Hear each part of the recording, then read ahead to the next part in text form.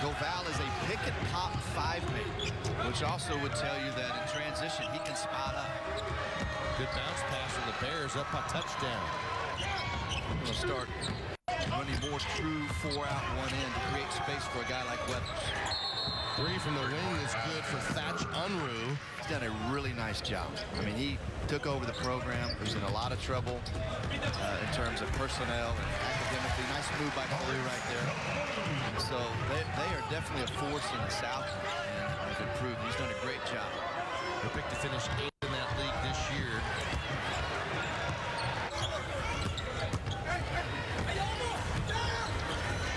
Cowboys whip around into the corner. Three-point shot.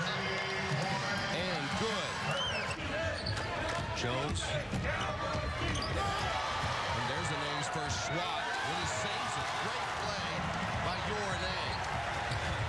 And fellow freshman to the other end for the. Pressure the, if you're going to do that, you also have to pressure the ball. You, you can't allow passers just to move it and feel comfortable. I think he'll be better as the talent level gets better here for the Cowboys. He'll be better at what he does. And a good drive. Their opportunity to get all the way to the rim. And, and the reason is you see Koval out on Thomas Dziagwa. One four flat right here let Jones go make a play. And he swishes the three. He's got 14. And the Cowboy lead is double digits. Watch him right here, Mike. Coach Mike Boynton going one four flat. Kayouloud. That's how they had those baskets in the first half. Cutbacks, backdoor, and it results. Not good news for Central Arkansas. Likely. How about the follow?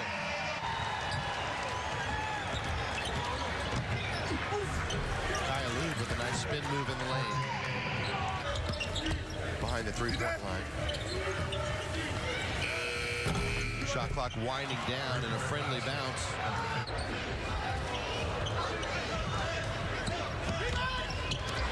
And Yor with his second stuff in the second half. Griff gets the double figures with the two free throws.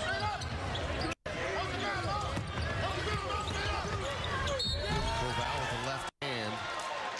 He started hot for Central Arkansas. But it's a win. And been on the stretch that the Cowboys have. You will you'll, you'll take that. Central Arkansas ends a very tough road stretch for themselves.